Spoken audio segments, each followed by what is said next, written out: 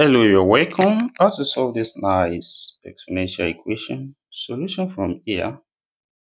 And what we have here, this when we have a raised to power n plus n. This same thing as a raised to power n times a raised to power n. This here, this same thing as 5 raised to power x times 5 squared equals to 60 from here. Then, next step, we have 5 raised to power x times 5 squared 5 times 5 is 25 then equals to 60 on this side.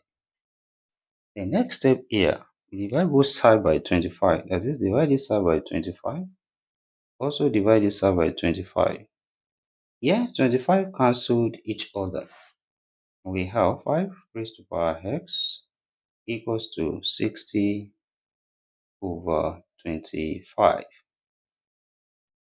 Then also here we can write as 5 raised to power x equals to 5 times 12 over 5 times 5. That is here 5 cancelled each other. Then we have 5 raised to power x equals to 12 over 5. Watch this video to the end. And also give a thumbs up, share this video, put your comments and subscribe. Here we take the log on both sides. That's why we have log 5 raised to power x equals to log 12 over 5. Then, next step, we apply the power law of logarithm when we have log m raised to power p. This same thing as p log m.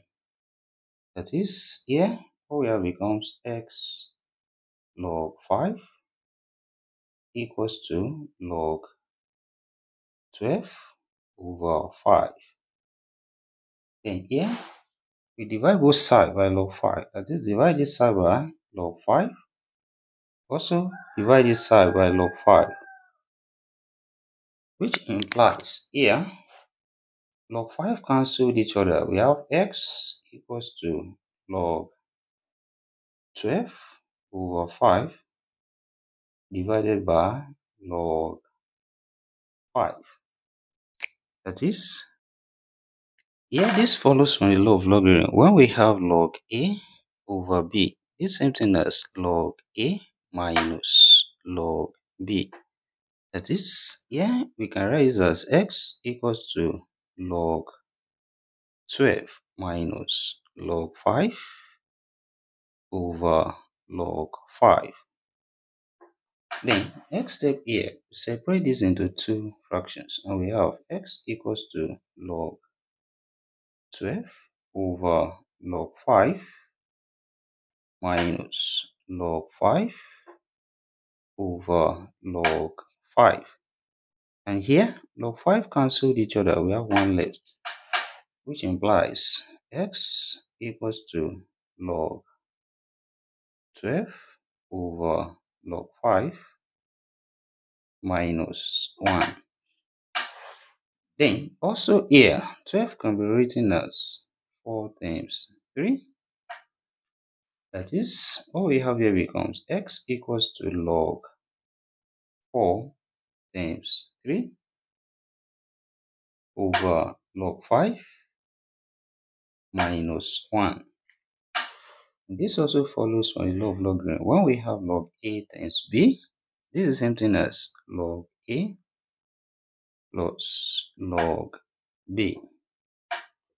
Then, here this becomes x equals to log 4 plus log 3 over log 5 minus 1.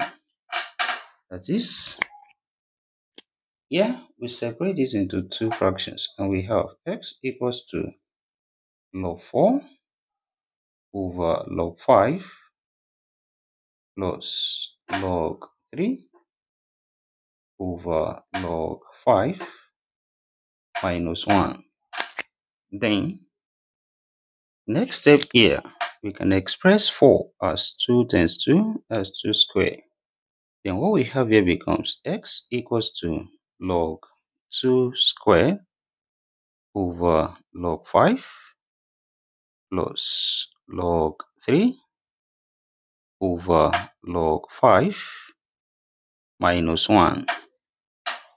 Then, here also, we apply the power of logarithm. That this 2 comes here and we have x equals to 2 log 2 over log 5 plus log 3 over log 5 minus 1.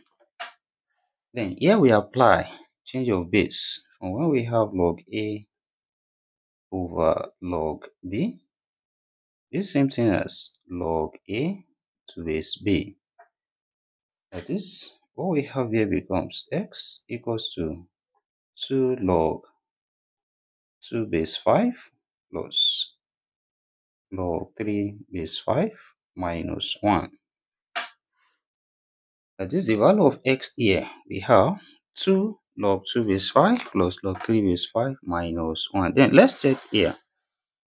If they satisfy this given problem, that is, we substitute the value of x here, which is x equals to 2 log 2 base 5 plus log 3 base 5 minus 1.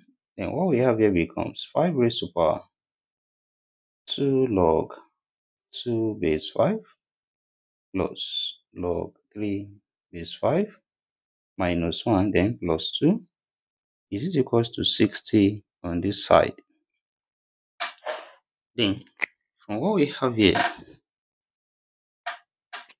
2 minus 1 that's 1 we can write as 5 raised to power 1 then plus 2 log 2 base 5 plus log 3 base 5 is it equals to 60 on this side.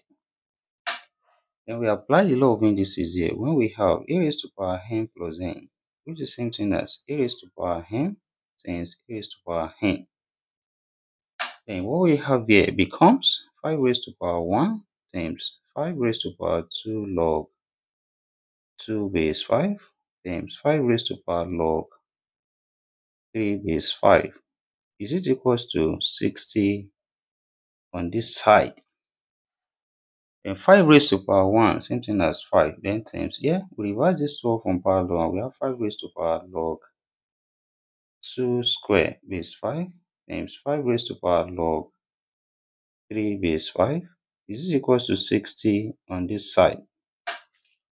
At this here, we have 5 times 5 raised to power log 2 square, that's 4, is 5 times 5 raised to power log 3 base 5 is it equals to 60 on this side? That this, this follows when we have a raised to power log b to base a, which is equals to b. And what we have here becomes 5 times 4 times times 3. Is it equals to 60 on this side? This 5 times 4 here, 20. And 20 times 3 give us 60, which is equals to 60 here. That is, we have left hand side equals to the right hand side. And therefore, we conclude that x equals to 2 log 2 base 5 plus log 3 base 5 minus 1 satisfy this given problem. And thank you for watching. Don't forget these steps. Subscribe for more videos. Turn the notification bell on. Share this video with thumbs up and put your comment. See you next class and bye for now.